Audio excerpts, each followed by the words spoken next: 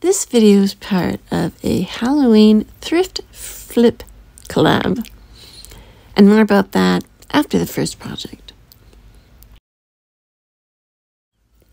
I'm going to transform this light cover into a glass jack-o'-lantern using a Mod Podge uh, wood coaster that's going to be like a little riser and this light cover that I purchased at the Habitat for Humanity Restore that is the um, nautical jar that I made um, in the summer with the fairy lights. And since we're in fall, we're going to retire the nautical jar for now. I'm going to use the fairy lights in this pumpkin slash jack-o'-lantern. So in the beginning, what's the best way to make uh, any object look like a pumpkin? Well, to make it a pumpkin color. So I chose orange and I'm adding food dye or food color to the Mod Podge. I added yellow, which looks like red when you put it in, but then turns yellow. And then I added red to actually make it orange. You'll see here just uh, two or three drops is more than enough. When I was happy with the color, I just painted it all on the inside, none on the outside, just on the inside so that way it doesn't get, you know, chipped or bumped or, you know, rubbed. Um, painting on the inside also gives it a really cool sort of transparent look that I like. So I tried to get an even coat on there, even though the brush strokes are going to make it a little bit uneven but you know, did my best. And I wasn't sure if one coat would be enough, so I did go ahead and cover my paintbrush and the Mod Podge with some plastic wrap. And in the end, I decided the one coat was just fine. I did, however, paint the riser, and I also painted the um,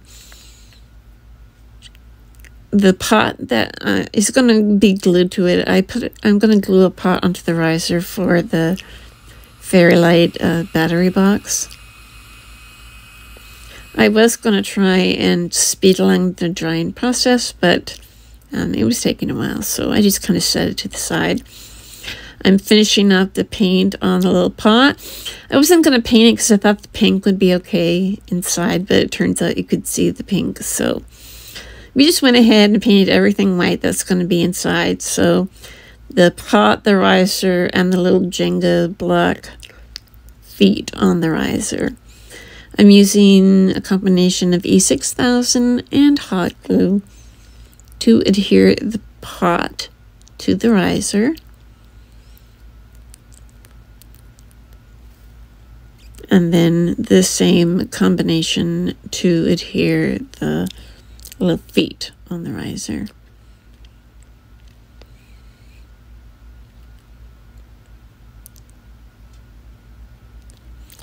All right, so I grabbed some of my wired jute and I just wrapped it around a marker. And then I took a length, like I pulled out a length that was going to be enough to go all the way around the top of the glass cover here. And then there's like a little lip on the glass there. So I just used hot glue and I pushed the wired jute into that lip so it was nice and even. And I brought it all the way around and kind of like crossed them so that I could um, pull up the um, little spirals, little tendrils there. I chose to just put leaves on one side. I kind of liked how that looked and for the Halloween um, part of it, um, I thought it would be easier. I just thought it would look better. so there I go, putting the battery compartment there in the pot, and then I just kind of crumbled up the lights, and then did a dry fit, and it looks good. So now is the Halloween twist. We're just going to make it into a jack-o'-lantern, so I made it into a pumpkin for fall and then we'll make it into a jack-o'-lantern for Halloween. I just went into my Cricut design space and typed jack-o'-lantern and chose an easy one. The eyes were kind of far apart, so I just peeled them off the back end like stickers and put them closer together.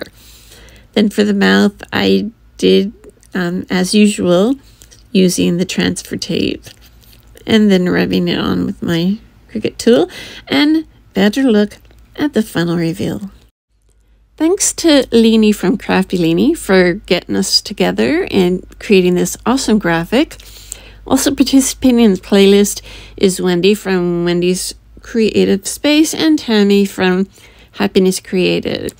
Um, their their channel links as well as a link to the playlist will be in my description box below and it's going to be awesome guys. So sit back relax and enjoy the rest of the video. For project number two i'm using this uh, carved wood basket. Kind of looks like a purse. I'm going to make a piece of double-sided decor.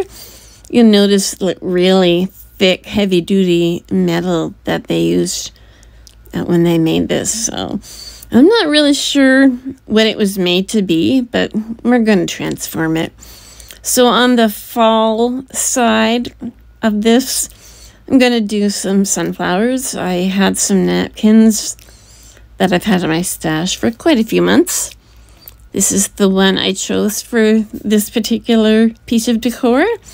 I'm doing a fussy cut on the sunflowers, which just means I'm cutting detail. What I'm actually doing is cutting away the white part. Um, I didn't want that on the wood. I didn't think it would look good. And I don't do a lot of fussy cutting, so um, like Brenda from Rustic and Lace does, um, I decided to fussy cut it this time. And I played around with the placement, whether I wanted the big sunflower on top or bottom. So before I decoupage, I am going to separate the two plies. So I'm only working with the ply that has the image on it. I'm using Mod Podge for this, and I'm putting a pretty thick coat on. The wood is kind of uneven, definitely not flat or smooth, so I wanted to make sure I got a good coat on there and got good adhesion of the napkin to the wood. I started to hurry along the drying process and realized it was just going to take way too long, so I took a break. And then when I came back, I was ready to do some ironing.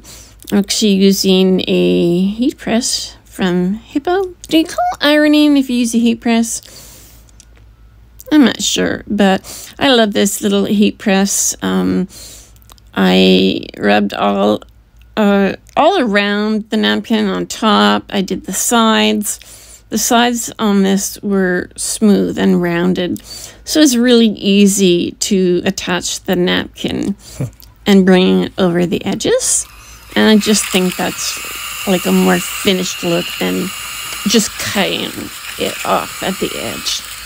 And then use the heat press just because we do have those uneven spots on the wood. I just want to make sure I got everything.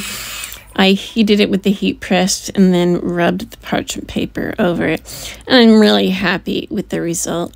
Now for the Halloween twist on this piece of decor, I'm going to rub some uh, uh, Rust-Oleum chalk paint on the opposite side otherwise known as the Halloween side. I considered putting um, some fall words on the side of the sunflower, but changed my mind. So back to work on the Halloween part. I went into my Cricut design space and just typed Happy Halloween and chose again one of the more simple selections and I made it bigger so it would fit the whole um, area that is available. Um, a lot of times I make it too small. I don't know why, like I'm worried about going over the edges. But this time I did good. and it filled in the whole spot. And again, just the simplicity of the actual piece of decor um, called for like a simple a simple choice of words, a simple design. And again, just like I showed you in the previous project, I used the transfer tape to put the words down. And then I don't normally do this, but I painted some, well, I shouldn't say paint, I uh, put some Mod Podge on top of it because it was super shiny. And it also helps the words stay on longer. I had this burlap ribbon in my stash. I believe it came from Dollar Tree. And I just tied it on um, that metal part there where it joins. There's like, um, I think they're called eye hooks that join to the handle. And I used some Dollar Tree jute to just tie the bow onto that metal part. Um, and when I add the florals, you don't really see it on the fall side because the florals kind of cover it up. So it, it's meant to be on the Halloween side. It's meant to be most visible on the Halloween side because of the black, matching with the black and the words. But I will give you a better look at this during the final reveal. Project number three is the fall bird's nest. It's more of an assembly really than a craft, but I've wanted to use one of these birds for so long. I purchased a box of various sizes, colors, shapes of birds from eBay. And uh, just never got around to using them. So we're going to make a little fall nest and then give it a Halloween twist at the end. I shows these sort of peachy white fall leaves that um, came from Dollar Tree. They're just called maple leaves. Um, and I put in a few little flowers that sort of match the color of the leaves. So um, I'm using this old candle holder that's been sitting in our back room. It's an unconditioned room, super hot. And the candle has kind of melted down into the holder. So you can see I'm just kind of like using this uh, butter knife to pry the wax out and warm it up first so it's easier. I timed it. It actually took me like 14 minutes to get this out. So it was a process. The heat gun was pretty helpful. I don't think I would have been able to get it out without warming it up first. And then when I got almost all the wax out. I just um, set it down and heated it and wiped it with paper towel, and the paper towel absorbed the wax. And I mean, I I can't believe the transformation just taking the wax out of it. So um, I want to thank Beth from Pearl Treasure Design because she did some birds in uh, these rope nests that she created. She created the nest with rope in in a circular shape, but I'm using raffia. I just kind of liked the raffia. I thought this said fall more than a rope did. And I'm trying to get, you know, very fallish, Halloweenish here. So raffia it is. And then I just selected a few leaves and this little white pumpkin that I pulled off of a pick. And I did hot glue them because I didn't want them falling off when I moved it around. And it's also pretty easy to peel off something that's been hot glued um, if you want to change it up for the seasons. So I popped uh, those on and um, I think this is wheat. I think they Dollar Tree calls these um, tall, sort of burgundy colored ones wheat. Not exactly sure. But I thought it needed something a little bit darker in there and a little bit more fall looking. So I chose those and then I just used my scissors to clean up the raffia. And now for the Halloween twist. I left everything the same, but I added a little jack-o'-lantern that I created using an orange pumpkin and I kept a little bit of the pick on the bottom so I could poke it into the raffia behind the bird. I created a simple jack-o'-lantern face with the triangle eyes and the toothy grin using my Funsil black marker. I think it's acrylic. Um, don't quote me on that though. So I, after looking at this, I felt like it needed just a little bit more Halloween embellishment. So I used this um, orange, uh, orange gingham pattern ribbon and created a simple uh, awareness bow. And I'll give you guys a better look at this during the final reveal.